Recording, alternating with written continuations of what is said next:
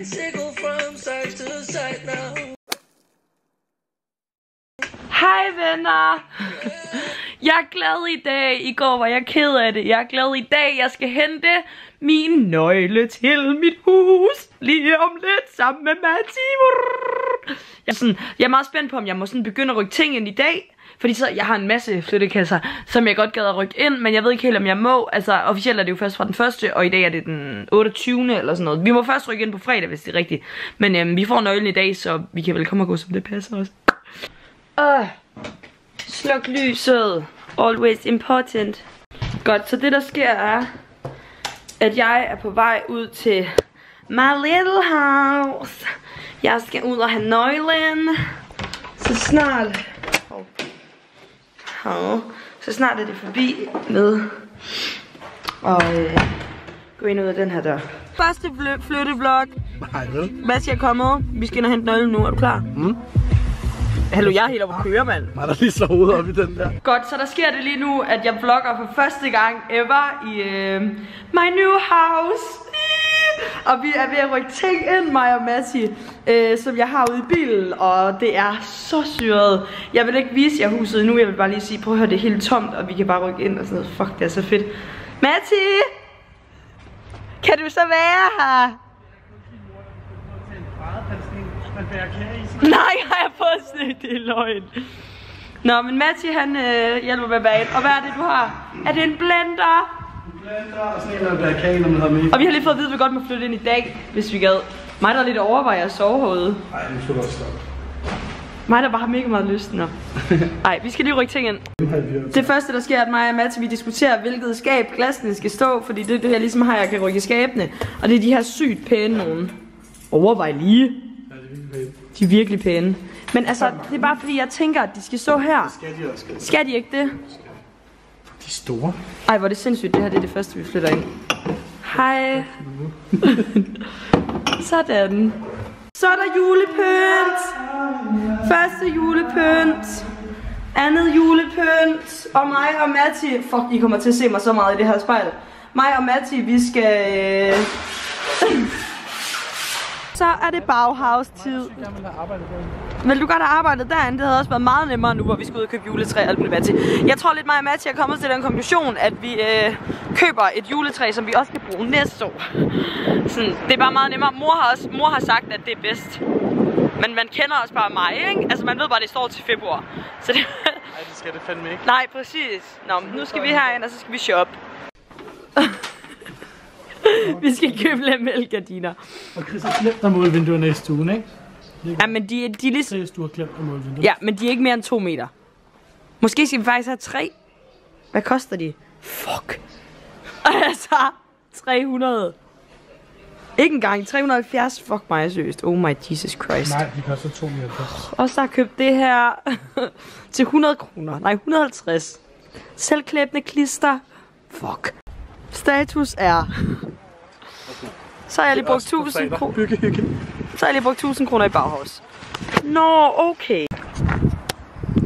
Uh la la. Vi har købt et juletræ. Woohoo. Nå, mig og Mathia er kommet hjem. Jeg har lige hugget øh, lyskæder op på trappen. Og vi skal se, hvordan det her, det her det ser ud nu. Hvad er det, Chris? Det er juletræ. Ja. Jamen, det er lidt som om, man... Jeg tror, der er det, som man Okay, du hører bare podcast.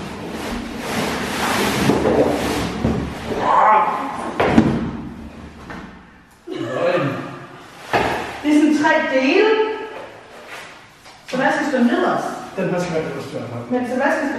Er der mere herinde? Det kunne der være. Den her skal være det første. Der var noget herinde. Jo, hold op.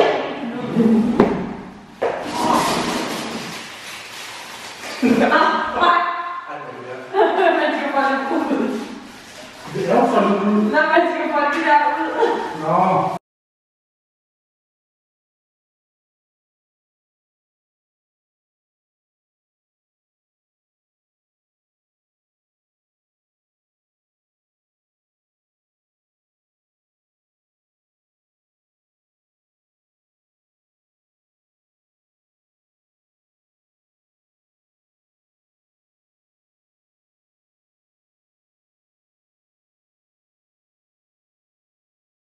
Hvad sker der her? Åh, men du prøver at holde ud af det. Chris, pas nu på. Fuck, hvor godt. Mm. Konge. Vores juletræ. Da, da, da. Vi har fået lys kædet op hele vejen op igennem trapperne. Og nu skal vi i Ikea øh, for at købe. Jeg, jeg skal have lameller til min seng. Hvad er det nu, jeg skal? Til din seng. Ja, du, man skal have sådan nogle lameller nedenunder til en sengeramme. Ah, Så du skal købe. Hvad er det mere, vi skal have, Matti? vi skal kigge på sofaen. Ja. Og så skal vi have med. Ja, det fandt hvad det, vi skulle. Og vi og spise mad. Jo, jo. Men vi skulle også noget andet. Der var, der var et eller andet, hvor vi var sådan, det skal vi ud for. Hej Matti, hvor er næste stop? McDonald's. IKEA! Juhu, man ved bare, at vi skal ind og have shirtboller.